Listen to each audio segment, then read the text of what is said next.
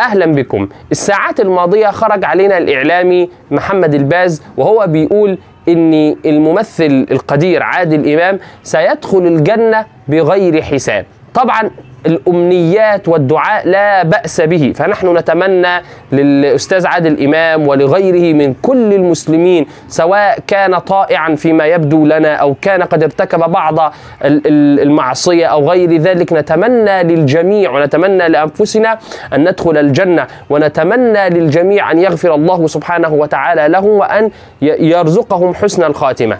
لكن الإشكال في إيه؟ في انك تحكم على معين تقول فلان ده من أهل الجنة أو فلان ده من أهل النار أو فلان ده هيدخل الجنة من غير حساب. وفلان ده هيدخل النار. الحكم على معين حتى ولو كان إنسان صالح الحكم على معين حتى ولو كان إنسان عابد صالح. ما بيسيبش السجادة ما ينفعش. ما ينفعش تقول فلان ده من أهل الجنة. ولو كان برضو إنسان عاصي مرتكب للكبائر ما ينفعش تقول فلان ده من أهل النار. فالحكم على معين لا يجوز. ولذلك الموضوع دوت إحنا بنقول عليه التألي على الله. روى الإمام مسلم رحمه الله أن رجلا قال والله لا يغفر الله لفلان. والله لا يغفر الله لفلان. والله سبحانه وتعالى غضب من هذا القول فقال من ذا الذي يتألى علي؟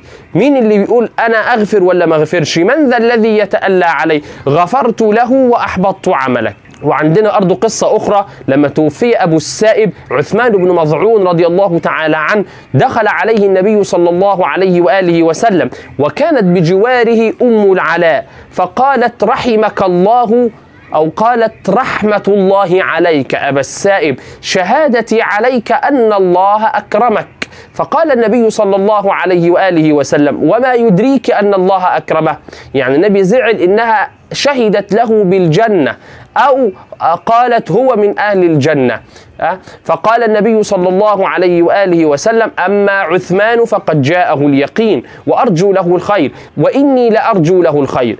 ووالله لا أدري وأنا رسول الله صلى الله عليه وسلم ما يفعل بي. ولذلك نحن من عقيدة أهل السنة والجماعة عدم الحكم على معين بدخول الجنة أو بدخول النار. ولكننا نتمنى للجميع وندعو للجميع أن يغفر الله لهم وأن يدخلهم جنته وأن يسكنهم فسيح جناته وأن يرزقهم جميعا حسن الخاتمة وأن يلحقنا جميعا بالصالحين. جزاكم الله خيرا. وصلى الله وسلم وبارك على سيدنا ومولانا محمد وعلى آله وصحبه وسلم.